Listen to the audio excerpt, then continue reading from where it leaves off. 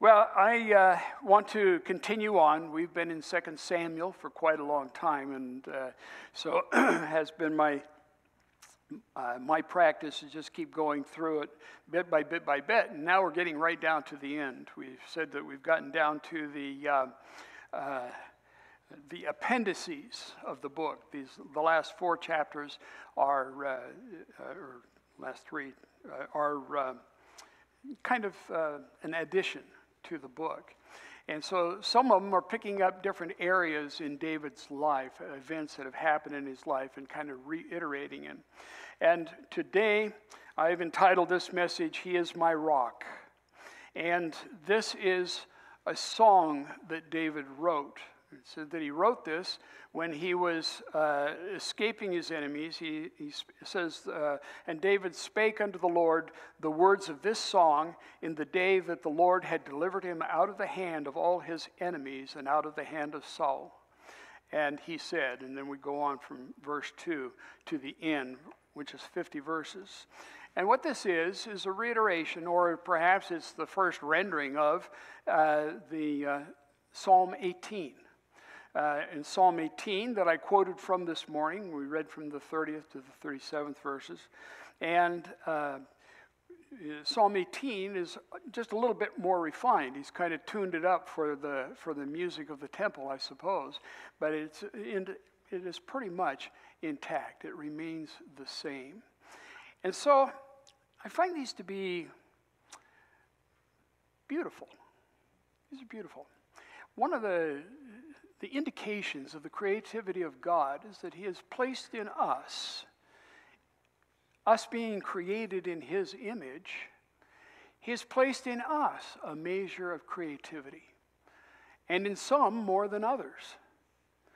And so I marvel at those who can put together words in poetry and bring out thoughts in such a beautiful and elegant way. Um,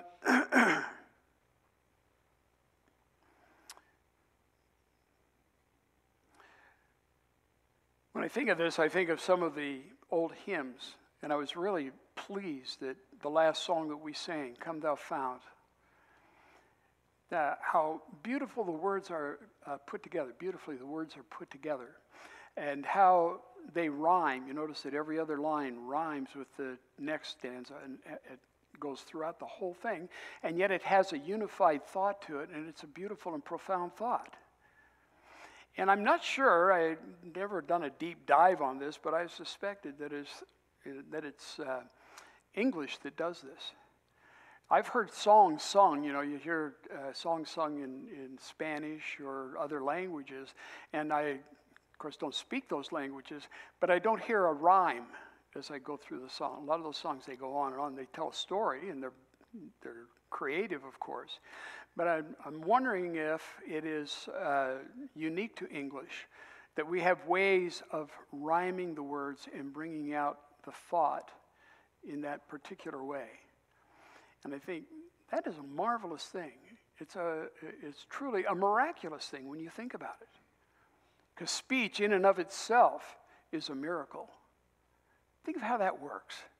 That we generate an idea in our brain and it is immediately taken right to our mouth, and our, our voice box is activated by the air that flows through it, and we can form the shape of the words in our mouth, and it goes out as sound waves through the air, and your ears, which are tremendously sensitive, amazingly sensitive, your ears pick that all up and convert that sound wave into an electrical impulse, which is then carried to the brain, which then ciphers it out and turns it into a thought. And we understand each other for the most part. You think, what a marvelous and miraculous thing that is. And it's wonderful that in his creation of us, that he's put within us the ability to draw out that emotion and to put it to pen and paper and to write it out that it could be maintained for years to come. In this case, 3,000 years. And David sat down in his joy and relief and he took stock of things around him. And I think this is a good practice for us to do from time to time.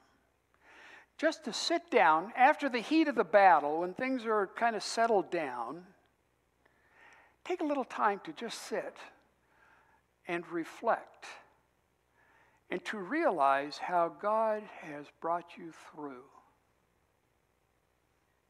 And by doing this, we reinforce that confidence that we have that God will take care of us. I'm uh, always been pleased that I was brought into God's household at a very young age. I uh, just grew up in the church. It was a pleasant experience to me all the years of my life. I enjoyed it as a child. I enjoyed it as a teenager. I enjoyed it as an adult. And I can remember, I can remember teachers that I had in my Sunday school classes. My parents came to the Lord through uh, the ministry of the pastor of the Christian church right over here. But there was some kind of an upset, and they had a split, and their group went, part of the people went somewhere else. This is one of the sad tales of Christianity and, and the church. It's so much better when brethren dwell together in unity. So much better. But nevertheless, sometimes things happen, and when it does, God's still going to have a way through it. And I thank God that my parents, even though they were with the wandering ones, they were brought into the fold.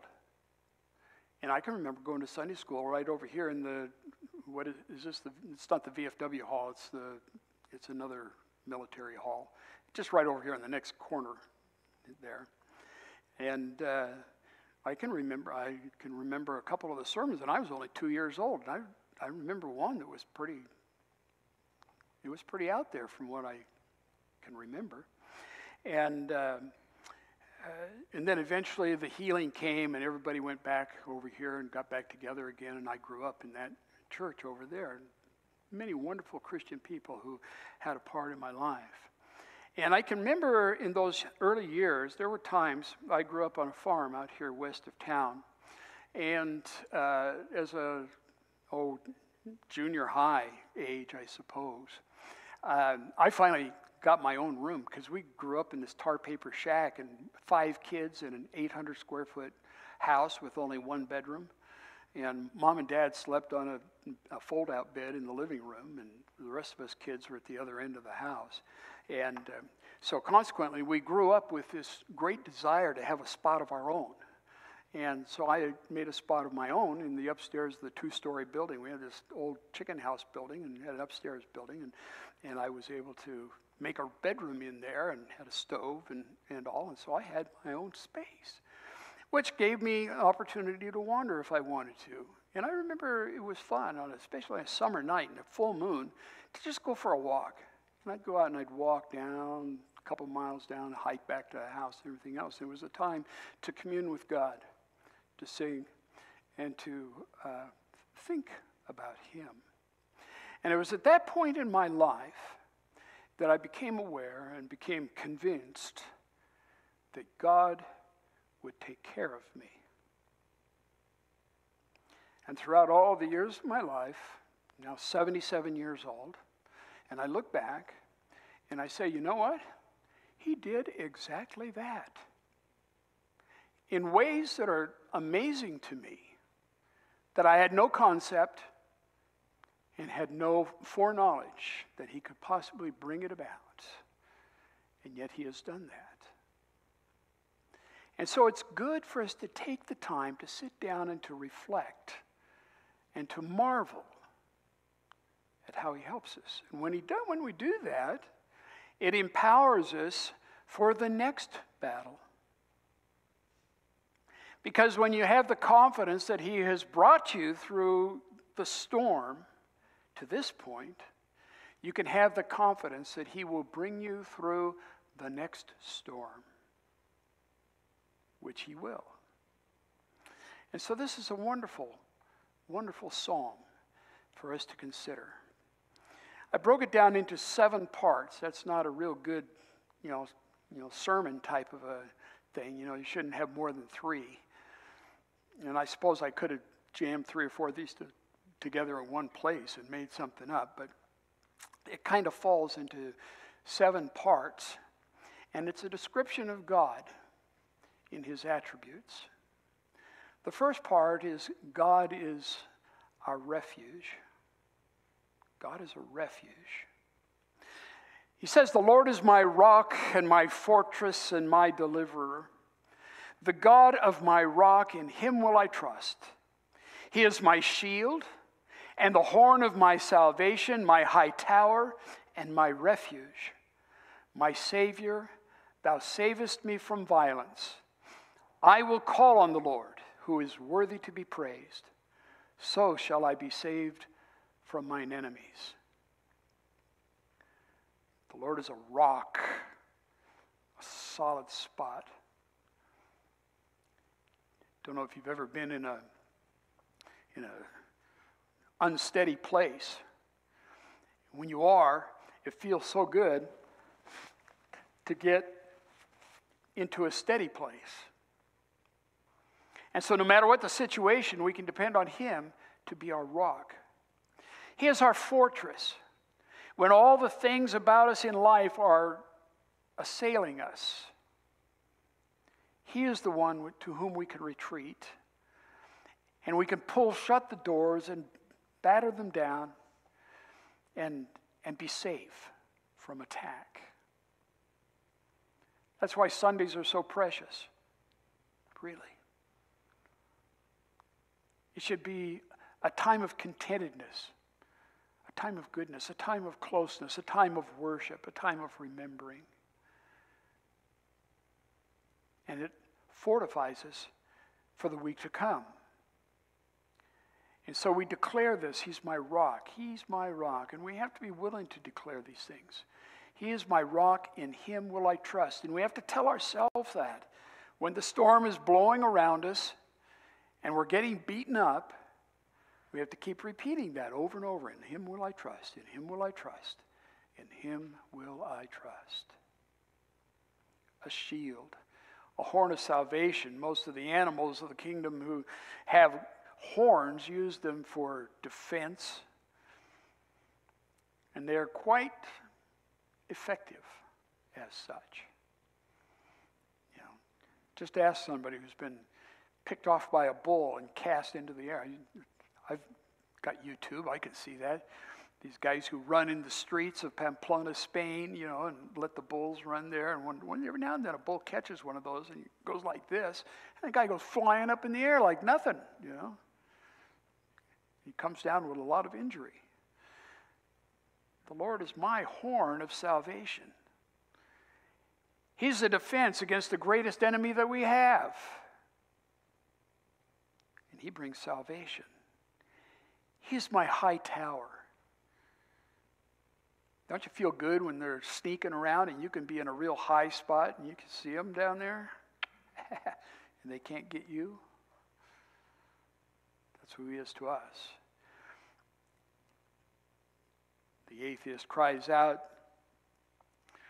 God is just a crutch. And the man of faith says, No, he's more than that. He's a wheelchair. My Savior, thou savest me from violence.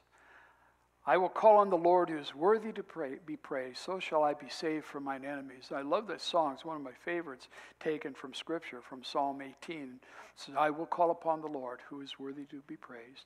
So shall I be saved from mine enemies. And then you jump down to about the 40th verse. Uh, the Lord liveth, and blessed be my rock, and let the God of my salvation be exalted. That should be the cry of our heart. Secondly, he reacts. God reacts. It says, When the waves of death compassed me, the floods of ungodly men made me afraid. The sorrows of hell compassed me about. The snares of death prevented me. In my distress, I called upon the Lord, and I cried to my God, and he did hear my voice out of the temple, and my cry did enter into his ears. Then the earth shook and trembled, the foundations of heaven moved and shook, and because he was wroth, there went up a smoke out of his nostrils, and fire out of his mouth devoured coals were kindled by it. He bowed the heavens also and came down, and darkness was under his feet, and he rode upon a cherub and, and did fly, and he was seen upon the wings of the wind. And he made darkness pavilions round about him, dark waters and thick clouds of the skies. Though the brightness before him were coals of fire kindled. The Lord thundered from heaven, and the Most High uttered his voice. And he sent out arrows and scattered them, lightning and discomfited them. And the channels of the sea appeared, and foundations of the world were discovered at the rebuking of the Lord, at the blast of the breath of his nostrils he reacts. When I read in the seventh verse that he did hear my voice out of his temple, and my cry did enter into his ears, I am comforted knowing that no matter what the circumstances, no matter where I find myself, no matter how bad it is, or no matter how low I have sunk, that God hears my cry. In Psalm 22, uh, we have a tremendous description of Jesus in his agony upon the cross of Calvary, written long before the Romans even devised crucifixion. And he goes through all of this, and he is in the worst of the situation. And Many have thought that at this point that he is just completely separated from God and that God has turned away from him. And I haven't been able to read it that way because I read in the 24th verse of Psalm 22, it says, For he hath not despised nor abhorred the affliction of the afflicted. No, he didn't do it. It seemed like it. And how many times have we gotten into places where we seem there is, there is no God? He's not looking at me, he's not paying attention to my problem. We get that way. That's the depth of our emotion. But the reality is, he hath not despised nor abhorred the affliction of the afflicted, neither hath he hid his face from him. But when he cried unto him, he heard. He heard. And we all know the result of that because there was tremendous victory. Where we look at it and say it was terrible loss and it was an injustice and it was political persecution and it was a horrible thing of man's inhumanity to man. But no, it wasn't. It was a plan. It was devised from the foundations of the world, the Lamb slain from the foundation of the world. It was all going according to plan. And when we looked at it as hopeless, and everyone who followed him had turned away and withdrawn and was steeped in their, their sorrow and disappointment, that's when the impossible happened. Three days later, they go down there in the morning. They're going to dress the body because they had to so hastily put him in the, in the sepulchre of the rich man Joseph of Arimathea. And lo and behold, they find that the stone is rolled away. There's an angel sitting on it. All the soldiers are dead to the world. They've all fainted in fear. Think of what it takes to make a Roman soldier of the Roman legion to faint. And they're all passed out. And there it is, the empty tomb. And we know the rest of the story as it unfolded. Too often we try to uh, focus our life on this very, very dark portion of what's happening to us, not realizing that around the corner there's victory. And when we experience that going around the corner, that's the time for us to sit down and to reflect and to praise God for what He has done. It's a time to spend some time in Psalms And it's good to spend time in Psalms too because a lot of the emotion that we feel, and we don't have the talent to put it down in print. Praise God, the Holy Spirit through the David the King, who had a heart for God and had a talent for singing, and he just wrote it down and he expresses our feelings. God reacts. This description of his reaction, you know, you got to remember that coming through the Red Sea and escaping from the Egyptians and all that hadn't been that long ago. And back in those days, you know, you didn't have TVs to, uh, to activate the beta waves of our mind. And so instead, they'd sit around the campfire and they would recite history and would recite the things that they, what their great grandfather told their great their grandfather, which told their father, which told them. And now I'm telling you and I'm telling your kids. This is what happened. And think of the description if you had been there. To think if you were one of the people who walked through on dry ground for crying out loud with this wall of water on both sides of you because and it goes up you can't see the top of it and you go through it on dry land with a million other people Hmm, that's something you'd probably remember for a couple days of your life anyway. And then you're out there, you're wandering around in the wilderness, and, and your leader says, Okay, you people wait here. I'm going up on the mountain. I'm going to talk to God. And you know, he's talked to God before. He's, he's done some pretty remarkable things. And so he goes up there, he's going to talk to God, and then you see all that's going on up there the fire and the deep cloud across the top of Mount Sinai. And uh, all of that going on. He said, and, the experiences they had, and then he, and thinking about just wandering through the wilderness for that time. And every day you go out there, and it's nice sunny skies today, except for that one column of cloud that's out there in front of us. Now we'll keep following that cloud. And at nighttime, it's light. You know, it's all lit up and it's lightning in it and one thing another. A lot of description there. And so these people have some kind and something in mind when he makes this description of God's reaction.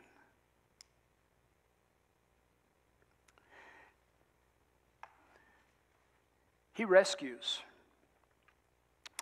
He sent from above. He took me. He drew me out of many waters. He delivered me from my strong enemy and from them that hated me, for they were too strong for me. They prevented me in the day of my calamity, for the Lord was my stay. He brought me forth also into a large place. He delivered me because he delighted in me. The Lord rewarded me according to my righteousness, according to the cleanness of my hands hath he recompensed me. For I have kept the ways of the Lord and have not wickedly departed from my God. For all his judgments were before me, and as for his statutes, I did not depart from them. I was also upright before him, and have kept myself from mine iniquity. Therefore, the Lord hath re- recompensed me according to my righteousness, according to my cleanness in his eyesight. He rescues. He rescues drew me out of many waters. Years ago, back when I was young and beautiful and strong and active, uh, we were on a day trip out to Coronado Island out of San Diego. And uh, we went out there uh, to play in the surf. It was a beautiful day. The water was probably about 70, 75 degrees, you know, just delightful swimming conditions. And uh, I don't know where we I can't even remember all the people that were with me on that trip because we did that trip before. But at any rate, I was out there kind of body surfing in the water. And I uh, got in the wrong place to where the wave broke over the top of me. And when the wave broke over the top of me, it took me down to the sand and it went like that. And I was oh, beat. And then I finally got up and I came up and I took a breath. And the next wave caught me and it took me down and just jammed me on the bottom of the ground and rolled me over and thud, thud, thud. And I struggled and I fought and I managed to get up And I took one breath, and a wave came down on me, and it jammed me down, and it rolled me over. It did that five times. And I'll tell you, the fifth time, I was done. I had no more strength at all. And thank God the fifth wave spit me out. And I just laid there for the longest time. I just laid with the gentle water coming up around me, you know. Catch my breath. But my goodness, the power of that water around me.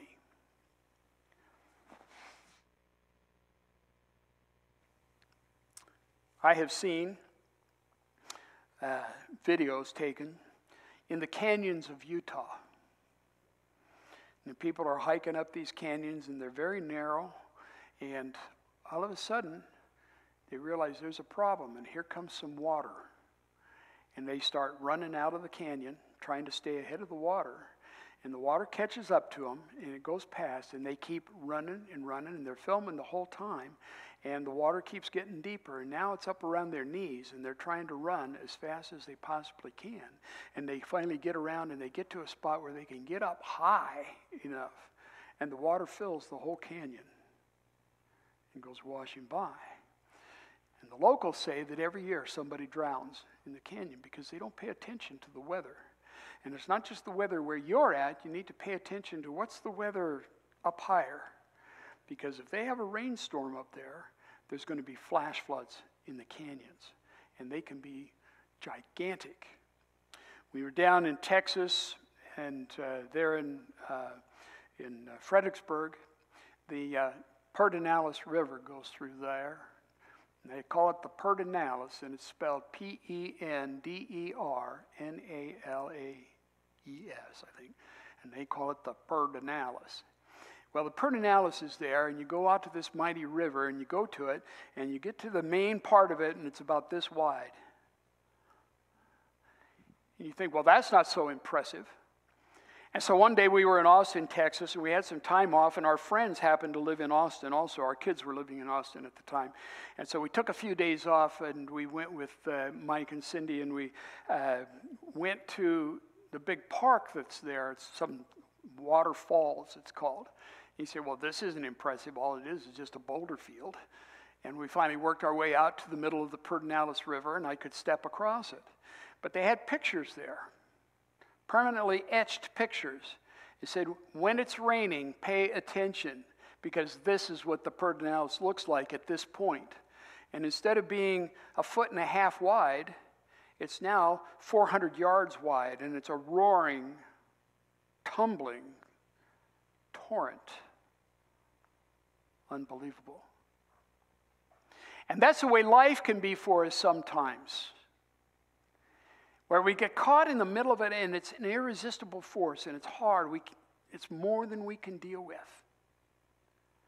And it's at that point, the person who is rescued from that kind of a situation, they look back and say, It is God who plucked me out of the waters. And when we are in the deep waters of the bad times of our life, it is God who plucks us out of the waters. Now, as he goes down here, he talks about how the Lord rewarded me according to my righteousness, according to the cleanness of my hands, hath he recompensed me. For I have kept the ways of the Lord and, and not wickedly departed from my God, and blah, blah, blah. And he says all of that. And it's not true. You know, it is right that we operate our lives in a righteous manner.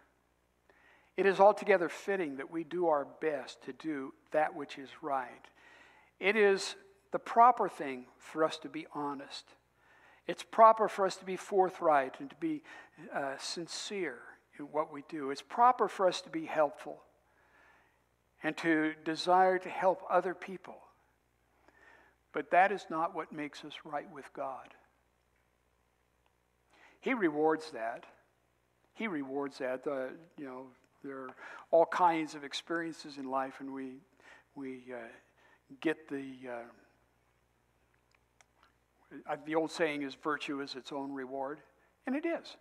You know, you feel good. You do something nice and you feel good. And, uh, and I tried to teach my uh, kids that if you can do something nice and not be caught doing it, that feels even better.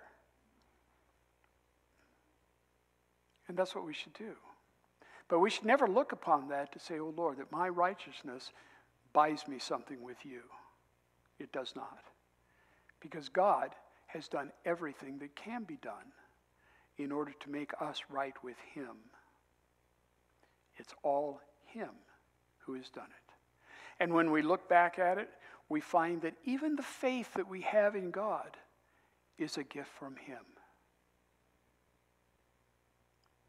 See, so that no man should boast.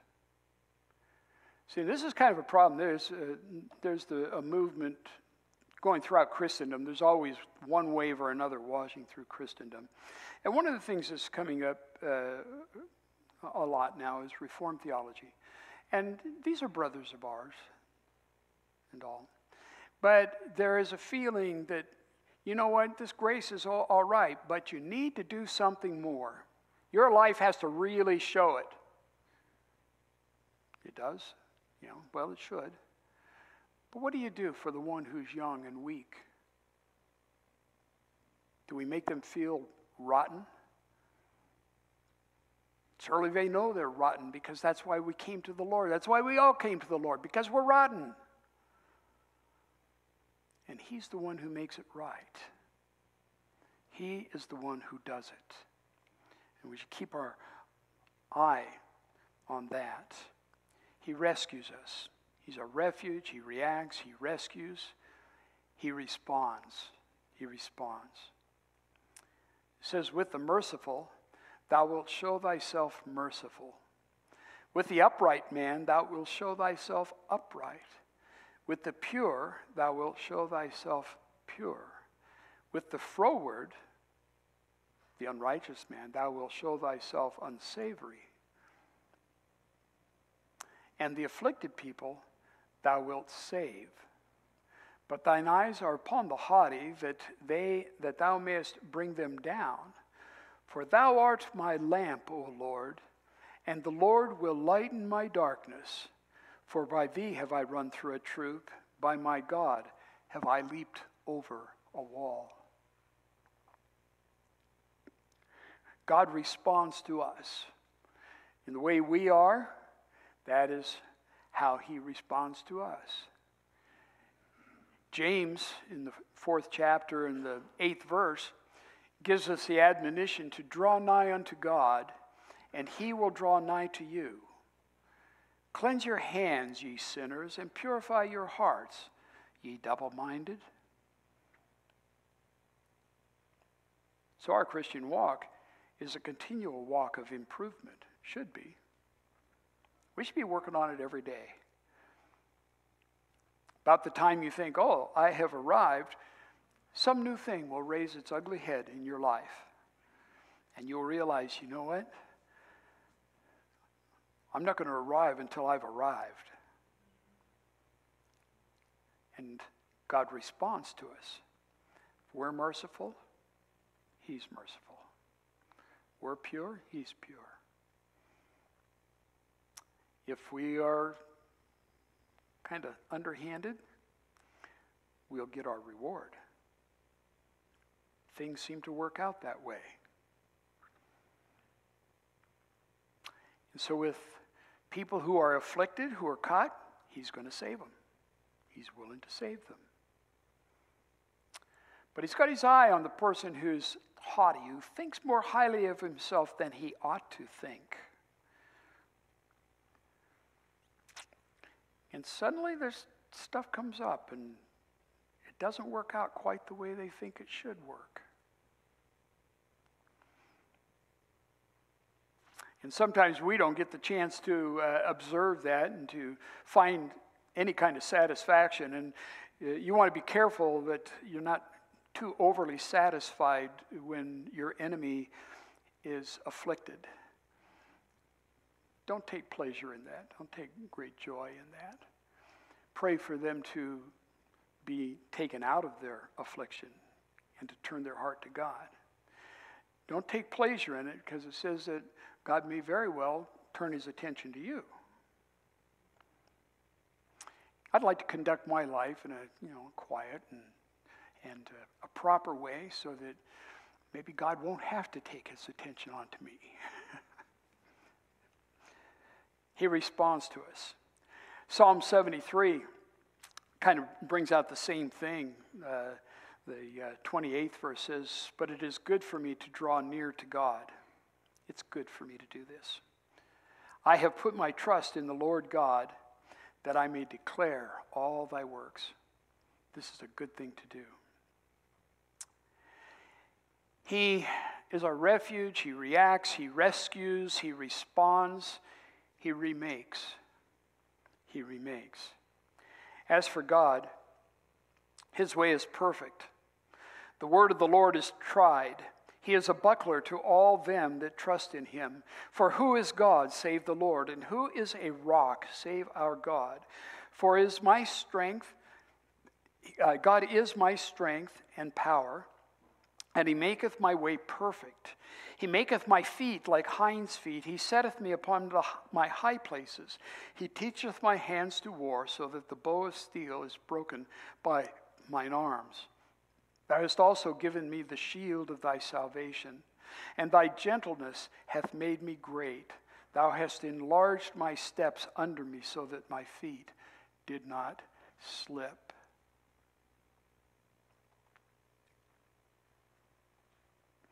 Paul wrote in 2 Corinthians 5:17 he says therefore if any man be in Christ he is a new creature old things are passed away behold all things are become new. It's a new, fresh start. I don't know if each of you remember it, uh, because it's only a few times in our life that we feel that release, that just. And I remember that was the way I felt when I turned my life over to the Lord. It was a great freedom that we had. And he becomes all these things to us the buckler, the, the shield, the high tower, the rock. His way is perfect. He makes my feet like hinds' feet on high places. There are 43 species in the genus uh, Cervidae. Uh, and at the time that that genus, by the way, that's deer. Deer. At the time of his writing this, there were three deer that existed in the, that area of Israel. There's the uh, roe deer, which is a very small little critter. He's about yay high, has just a couple of small uh, antlers. The fallow deer, it's a little bit larger. And then there's the red deer, which is kind of like a small elk. It's a, it's a good sized animal, and it looks very much like an elk, and it has a big rack. The, the male does. And the female is called a hind. And uh, so, those of you who are into the hunting arts, you know, you can picture this. It says, He, he makes my feet like hind's feet. And, I, and you know what? I've, I've watched the deer. We've had a, a love hate relationship with the deer uh, when we were in the flower business. And uh, all of you who raise flowers, you know how it is. You know, you just you love seeing these deer because there is just nothing more graceful. They just have a graceful way in their movements and when they run and when they jump over something. They are delightful to watch. They're wonderful. But dread it, they like all the best flowers. And so you ah, can't got to deal with that. Got to deal with that. And uh, I like to retell the story of my beloved, who is a woman of great faith and is given to prayer. And that first year when we were out here on the farm and we had reactivated uh, my mother's flower beds when I was a little kid, you walk down to our house, and on both sides were these massive flower beds. They were the most beautiful things. So you went through these beautiful flowers so that you could go knock on the door of the tar paper shack. Because that's what it was, it was a tar paper shack.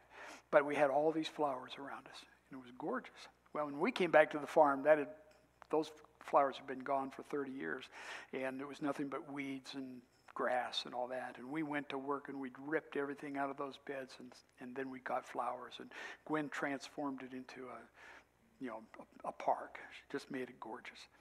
And at the top of the hill, I had this old wheelbarrow that had rusted away. I drug it up from underneath the building or somewhere out of the junk pile that my dad had accumulated. And here was this old rusty wheelbarrow and put it up at the top and I filled it full of dirt and we planted petunias in it and the petunias grew up and they spilled over and they washed. And all the years that I lived on that farm, I grew up in that place. We had it for 56 years before we got rid of it. And uh, I grew up on it. And all the time that I was growing up, I never saw a deer anywhere in our neighborhood, ever. No deer anywhere in that spot.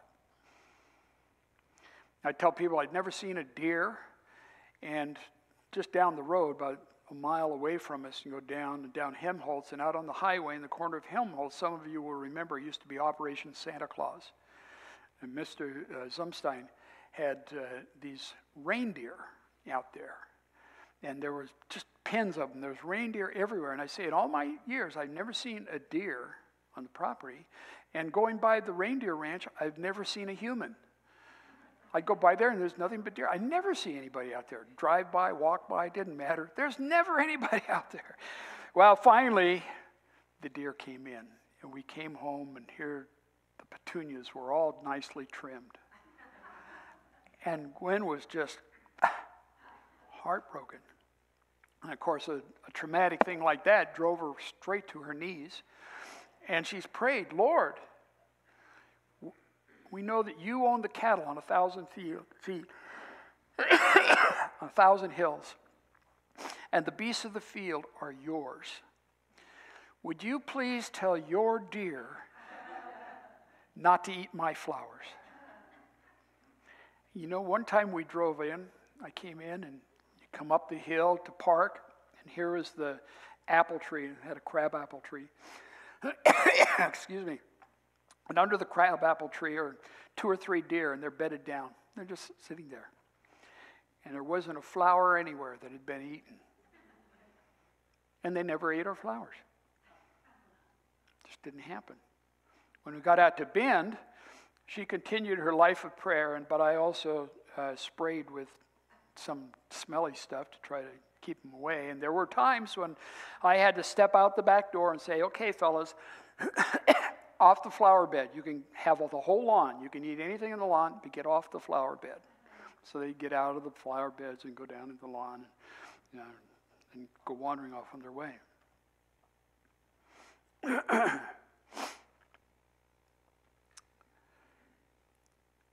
the hind's feet. You think of that beautiful animal. A deer, his feet are vertical. All the bones, he has, he has finger bones just like you and I do. And those bones are vertical like this. And coming out of the end are the fingernails, and that's their hooves. It's keratin, just like your fingernails are keratin. And so it's a very thick keratin. And so they're the ballerinas of the world. They're walking around on their tippy toes like that. They kind of go down into it like that, and, and then you'll see their, their back dew claws that are back here. But generally, you see those front two fingers that are coming down. That's primarily how they are.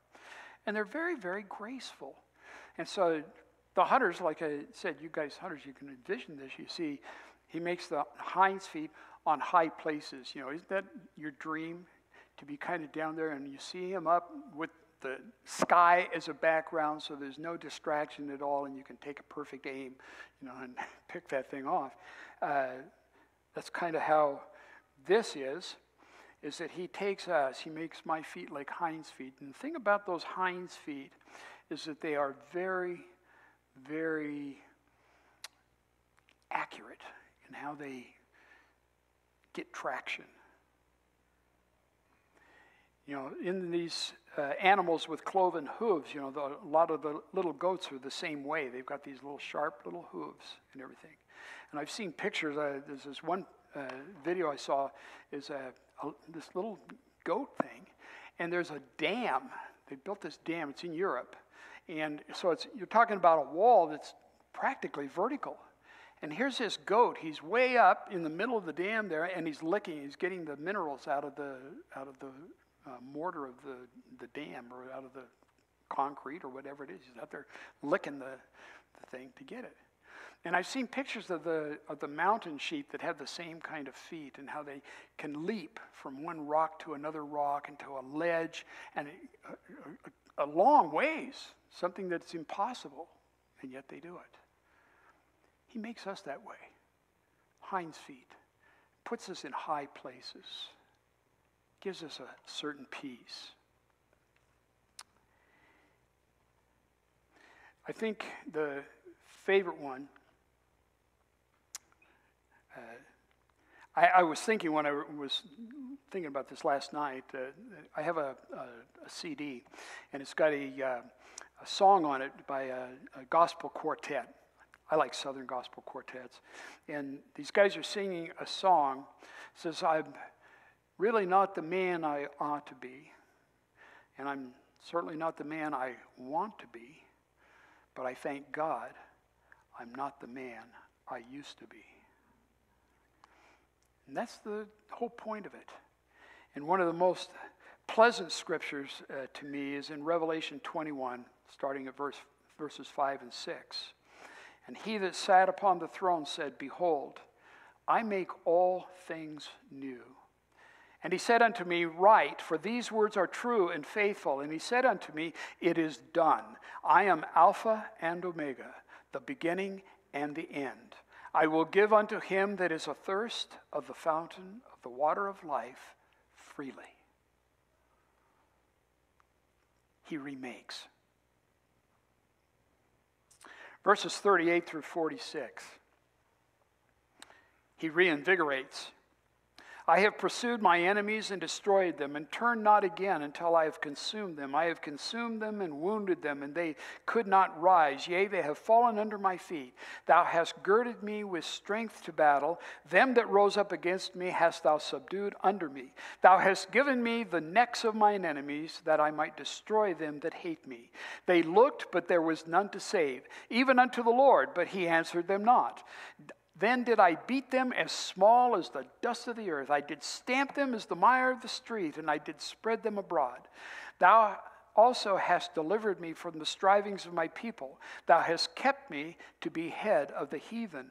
A people which I knew not shall serve me. Strangers shall submit themselves unto me. As soon as they hear, they shall be obedient unto me. Strangers shall fade away, and they shall be afraid out of their close places. He reinvigorates, and David is thinking about all the battles that he had to fight. And as they went into that land, and as he took uh, leadership of the people of that land, it was still incumbent upon them to cast out the inhabitants who were under the judgment of God. Now I pray that war does not come to our shores. We have a place on the earth that really isolates us from a lot, but it's getting harder and harder because we keep devising things that will reach further and further in order to destroy our fellow man. And so it's not beyond the realm of possibility that we would find war coming to us here, or that we would find war within the confines of our nation as we did 150 some years ago. So I would pray that we would have peace and that we would not have that kind of war. But the reality is in life that as we walk through life, we have a constant war that's going on. We constantly have things that are assailing us. That sin nature that we have is always needing to be subdued. And we have these things that come in at us and we have to fight them. And as David says here, he fought him. He was reinvigorated. He had the strength, and it was by God's grace and, and his power that he was able to go in and to defeat enemy after enemy after enemy. And we should experience this in our lives also that we go in and we defeat those enemies one after another, after another, after another, and beat them as fine as dust and vanquish them. But when you get in that spot, don't become too complacent. Because he gets down to the end and he says, Thou hast kept me to be heed, head of the heathen. A people which I knew not shall serve me, and strangers shall submit themselves to me. So even though we beat things down, there's always going to be something new that can pop up. But the more we are invigorated by God and are victorious in the things in our life that spring up, a lot of times those things that spring up will flee and will not try to attack us the same way. They submit themselves unto me because it is God who reinvigorates us.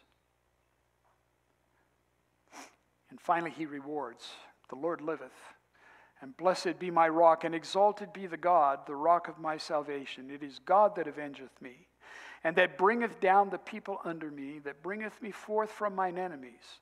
Thou also hast lifted me up on high above them that rose up against me. Thou hast delivered me from the violent man. Therefore, I will give thanks unto thee, O Lord, among the heathen. I will sing praises unto thy name. He is the tower of salvation for his king. He showeth mercy to his anointed, unto David, and to his seed forevermore. When we yield ourselves to Him and we accept His authority in our life and we are willing to have Him exhibit His power through our life, there are rewards for that. And when the rewards come and there is the peaceful time, that's not the time to be complacent, as I said, but it is a time to reflect. And then is the time to say, It's the Lord. It's the Lord. Always acknowledge that. In 2 Timothy, Paul is writing to Timothy, the fourth chapter in the sixth verse. And you know, Paul is getting to the end of his life, and he's a tired old man who has had a very successful ministry and has seen God working through him. And he says, For I am now ready to be offered, and the time of my departure is at hand. I have fought a good fight, I have finished my course, I have kept the faith. Henceforth there is laid up for me a crown of righteousness, which the Lord, the righteous judge, shall give me at that day. But here's the good news it's not for those particular elite people who God has really chosen to use in a particularly powerful way, but also for us vanilla Christians who are out of the way and insignificant in our estimation. And so Paul says, and not to me only, but unto all them also that love his appearing. That promises to you and I. Praise God. Lord, thank you. You have blessed us above all peoples of the earth. You have blessed us individually in ways that just leave us dumbfounded. Lord, you are plenteous in mercy. You are overflowing in grace. And you are abounding in love. And I pray, Lord, that that would flow through each one of us. Help us to love each other. Help us to love our neighbors around us. Help us to serve you as we ought. And help us to give you glory forever and ever. Amen.